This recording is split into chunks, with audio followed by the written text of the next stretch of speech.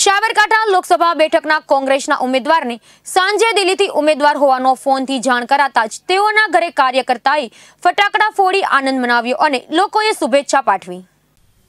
સાબરકાંઠા લોકસભા બેઠકના કોંગ્રેસના ઉમેદવારને લઈ અનેક મૂંઝવણ વર્તાઈ રહી હતી. તે દરમિયાન જ કોંગ્રેસના મોડાસાના ધારાસભ્ય રાજેન્દ્રસિંહ ઠાકોરની ફોનથી જાણ કરીને ઉમેદવાર હોવાનું જણાવતા આખરે હવે ભાજપના વર્તમાન સાંસદ સામે સીધી હરીફાઈ રાજેન્દ્ર ઠાકર સામે થશે. રાજેન્દ્ર ઠાકર બીજ ટર્મથી મોડાસાના ધારાસભ્ય છે અને તેઓ ઠાકર સમાજ પર પ્રભુત્વ ધરાવતા હોવાને લઈને તેમની પસંદગી કરાઈ હોવાનું માનવામાં આવી રહ્યું છે. રાજેન્દ્ર ઠાકરે આજે સવારથી પોતાના કાર્યકરોને આવતીકાલે ઉમેદવારી પત્ર ભરવા અંગેનું આયોજન કરવાનું કહેતા જ તેઓની નિશ્ચિત મનાતી હતી.